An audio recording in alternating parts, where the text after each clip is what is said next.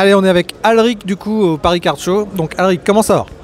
Eh ben écoute, ça va plutôt bien Benjamin, c'était une euh, super journée. Ouais, du monde, beaucoup de monde? Alors euh, ça a été fluide en fait tout du long. Les gens allaient, venaient. L'avantage de ce type de, de convention, une grosse structure mais sans être euh, la grosse foire, ça permet en fait de brasser et de, et de profiter vraiment. Les gens prennent le temps, discutent avec nous. C'est franchement, euh, c'était franchement pas mal. Surtout pour une première pour moi. Et du coup, alors est-ce que tu peux nous montrer un petit peu et nous présenter un petit peu ce que tu fais? Alors du coup, euh, on va la faire euh, académique. Je m'appelle Alric, euh, marié, père de deux enfants. Je suis de Normandie et je suis un sketch card artiste, c'est-à-dire illustrateur spécialisé dans la carte à collectionner. Je suis en freelance, donc je suis amené à collaborer avec différentes compagnies à travers le globe, essentiellement américains. Mon plus gros client à l'heure actuelle étant la société Upper Deck, euh, qui possède entre autres la licence Marvel. Euh, donc ça m'a permis de réaliser un rêve de gosse qui est de dessiner euh, les super-héros que je lisais quand j'étais gamin. Voilà, donc je suis euh, en collaboration avec eux euh, depuis 2016, mais j'ai vraiment remis un coup de boost euh, depuis l'année dernière en fait, parce qu'il y avait une transition professionnelle et, tout ça, tout ça.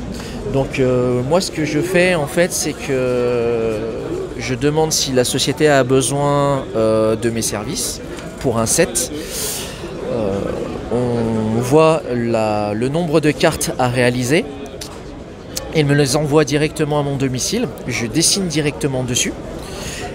Après, approbation euh, du coordinateur pour un premier récrémage, si on peut dire, pour éviter tout, tout rejet, les cartes sont par la suite réexpédiées aux États-Unis, par laquelle euh, la société en fait va récupérer les cartes et les montrer aux clients. Donc là en l'occurrence Marvel et c'est eux qui vont avoir le dernier mot pour savoir si oui ou non telle ou telle carte sera acceptée ou refusée en fonction des guidelines qui ont été euh, formulées en amont.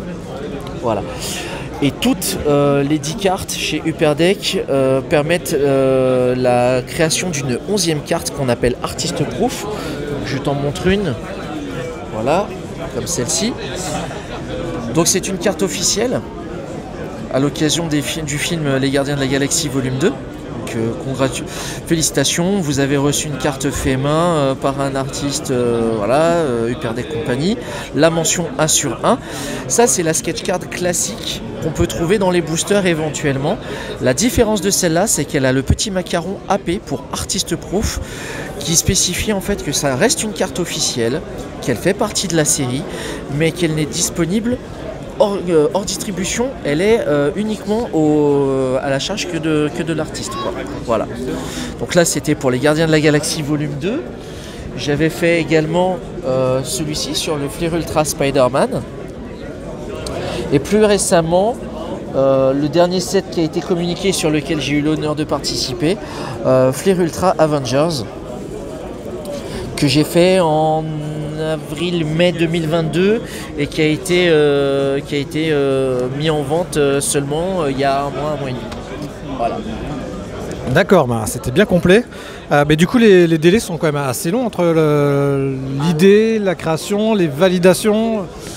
Alors, la- le- le- oui, c'est un travail qui se fait sur le très très long terme parce qu'en fait, de- du moment où on discute d'un set à travailler ensemble à la mise en ligne, la mise en vente du 17, il peut s'écouler plusieurs années. Et Upperdeck, malheureusement, pour certaines raisons, peut avoir certains retards ou des délais supplémentaires. Euh, possiblement parce que des artistes n'ont pas rendu les trucs à temps, etc.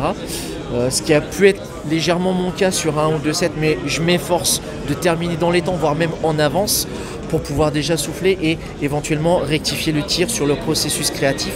Parce que le truc que j'aime beaucoup quand euh, je fais un set de cartes, c'est que s'il y a une thématique, de me lancer dans la phase recherche, tu vois, un peu comme la pré-production dans un film, c'est la partie que je préfère parce que je vais découvrir plein de choses, potentiellement des choses auxquelles je n'aurais pas forcément pensé, pour me permettre voilà, de réguiller telle ou telle composition, tel ou tel costume, et ça c'est plutôt pas mal. D'accord, et du coup, tu, tu fais essentiellement du Marvel, enfin de- Alors, le, plus gros que j'ai fait, effectivement, c'est du Marvel, mais j'ai travaillé aussi pour d'autres compagnies l'année dernière, euh, donc Iconic Creations par exemple, qui a communiqué sur le Futur 7 sur lequel j'ai eu le plaisir de participer. Leur thématique, c'était le titre, c'était Yokai Parade. Donc la parade des yokai, la thématique c'était euh, les fantômes et créatures de la culture asiatique, aussi bien de la culture chinoise à la culture japonaise. Donc extrêmement varié et extrêmement large. D'autant plus que Iconic Creations, euh, Dina, pour, la citer, euh, quand elle m'a envoyé les, guidelines, un peu le, mode d'emploi du set à, faire, donc ce qu'on a le droit de faire et de ne pas faire, a été très généreuse en, en indication puisqu'elle a donné euh, des listes d'exemples de, fantômes ou de yokai qu'on pouvait reproduire. D'accord, en tout cas c'est bien complet. C'est vrai que tout a l'air très beau. On voit les touches de l'artiste. là-dessus. Euh, et pour en venir au Paris Car Show, du coup, pas mal de commandes. Du coup, euh, comment ça s'est passé du coup la journée en termes de commandes Tu les fais sur place Ce que j'ai vu, tu dessinais alors oui, pour cette convention, j'ai voulu essayer quelque chose d'un peu atypique et un petit peu particulier. Euh, auparavant, je faisais énormément d'autres conventions, mais qui n'étaient pas spécialisées dans la carte à collectionner. C'était de, la pop culture, donc c'était des conventions type Japan Expo, Paris Manga, des choses comme ça où je réalisais en fait des portraits des visiteurs dans l'univers de leur choix, pour avoir une petite touche personnelle en plus du simple portrait.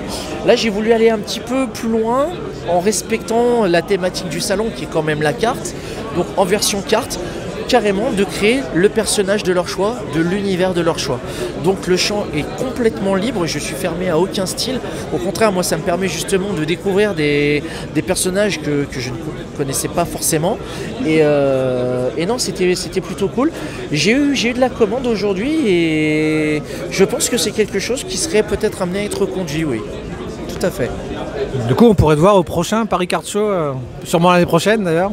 Euh, je pense que oui. Je... Alors, il faut que, il faut que j'en discute parce que, mine de rien, ça reste quand même une logistique derrière. Mais euh, je reste quand même sensiblement assez content de, cette journée, qui n'est pas terminée d'ailleurs au moment où on tente cette interview. Euh, donc, si vous n'êtes pas venu, j'espère vous retrouver l'année prochaine, si vous êtes intéressé par ce type de choses. Et non, oui, je pense que je serai là pour Paris Card Show 2024 et ce sera avec grand plaisir. Bon bah merci en tout cas et puis euh, bah, bonne fin de convention. Merci beaucoup et merci à toi, ça a été un honneur et puis au plaisir de se retrouver.